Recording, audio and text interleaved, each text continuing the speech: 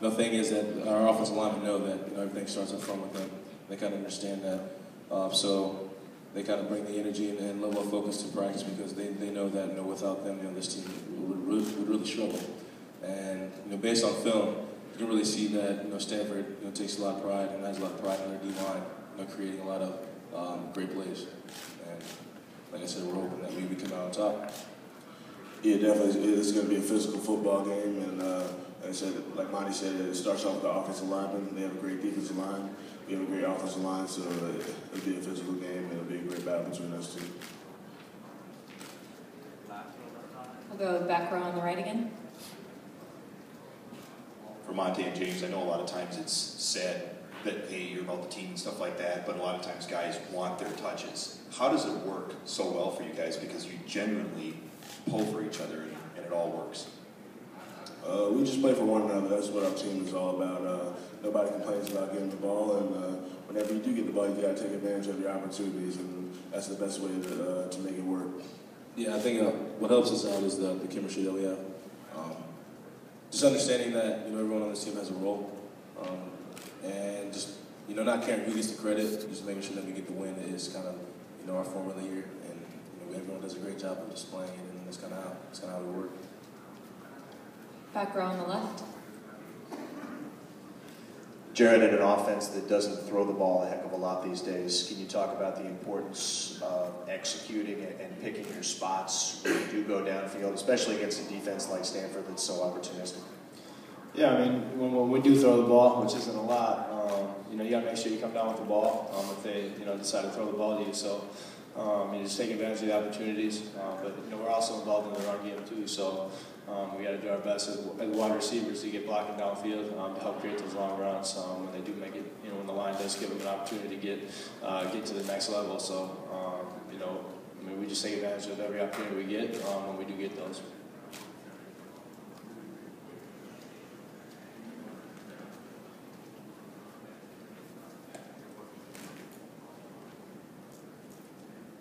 We'll go here on the left. We'll start with Jared. Do you have any recollection of the last time Wisconsin and Stanford played the Rose Bowl in 2000? No, I, you were probably 11 or so. I don't remember that. Nothing? No. James Montee, anything? I was 10. Did you watch college football Not really. well, that didn't work, did it? It was Dragon Ball Z and uh, yeah, a lot of cartoons. We'll go second row on the left aisle here. We just heard a, li- a little bit from the other guys about the wristbands you guys have. Can you just talk about the message and what it's meant for each of you to be able to carry that into this game? Um, I mean, I'll start, I guess. It just kind of, you know, just reminds you each day um, when you wake up, you see it on your wrist to make sure, um, you know, we got a lot of free time, things like that, but um, when you come to practice, make sure that you're in and you're out. So, um, you know, not only are you going to be committed to the team, committed to this game uh, to get this W, um, but that you make sure that you give all you got um, every time you step on the field, um, and that's in practice and when you're watching film and things like that. So, just kind of a reminder um, to make sure that, that you know, he knows and the rest of the team knows that, that I'm going to do my part uh, to do to do my best to get this win. Yeah, kind of a little bit what he said is it kind of reminds me of this like, I I'm a little piece to the puzzle, the entire puzzle of this entire team. Everyone is. Uh, kind of saying that I'm in, you know, with this team, everything that we're, that we're doing, and I'm going to be on. I'm going to display my best game and, and show the team that I, I want to win for them. Yeah, for sure. We, we have one game left, and uh, want everybody to give it all they have, and just stay locked in throughout this whole trip. Uh, you know, you're gonna have fun, not on the practice field, but when we're out there on the practice field, just give it the best effort that you have, and that'll make us very effective come game day.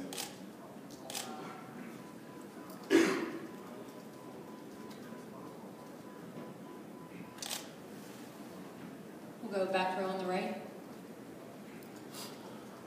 I think you guys have talked about it, but now that you've been out here, what is it like to have Barry coaching you and just the, the difference and, and what it's all about?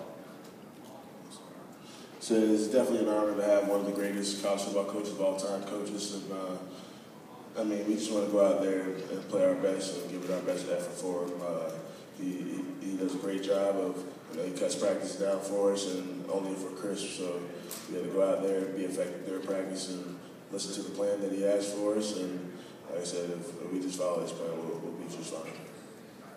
Be honest, we we loved it because uh, I guess coming here, you, you were they explained to you everything that he's done for this program.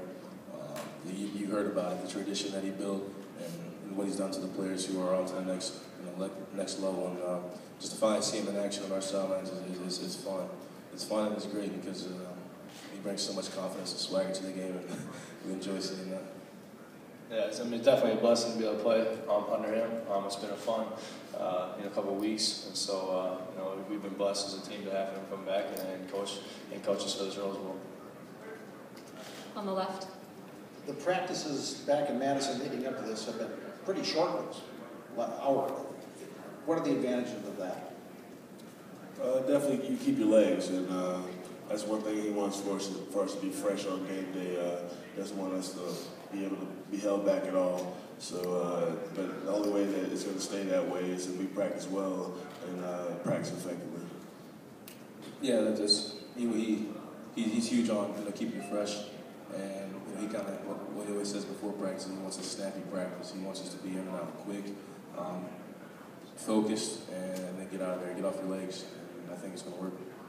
Yeah, I would add to that too is, I mean, you're also able to uh, make sure, you know, if you're only going an hour, everybody's basically able to give all they got, you know, for that hour. So it's going to be a nice crisp, crisp clean, clean practice. Um, everybody's giving their all, so it's going to be a good, good practice. Um, you know, timing's going to be down with the quarterbacks for the pass game.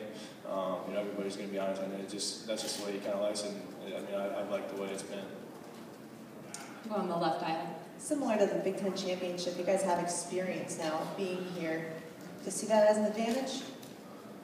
Yeah, I say definitely. Um, you know, not only for the game, but just for the, the week. I mean, we got so many events that we've, we've been to, um, so we kind of know what to expect. Um, there's a lot of fun things that you get to do um, and experience, and so being here, um, and you're not really surprised, you know, with a lot.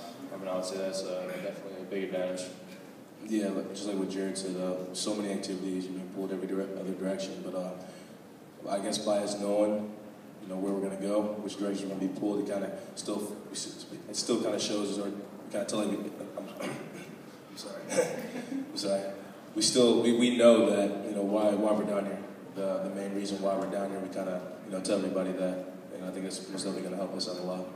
Yeah, we, we know what, what LA presents and uh, what the atmosphere is like when we get here, so it's not too much of a shock for us. Uh, we know how to handle our business uh, when when we're off the field, when we're on the field. So, I mean, it just gives us a great level of focus um, come game day. We'll go on the left aisle again. One of those activities tomorrow night, the Beef Bowl. Um, Travis says he's not going to try to three-peat with his title. Do you guys have any favorites that you see for taking the crown? Big Rob. Big Rob. Yeah. Big Rob. Oh, One of the Ooh, old line. nice. Uh, nice. Zac, Zac Matthias. Yeah, so, yeah. How many do you plan on eating? Um, I might go for three.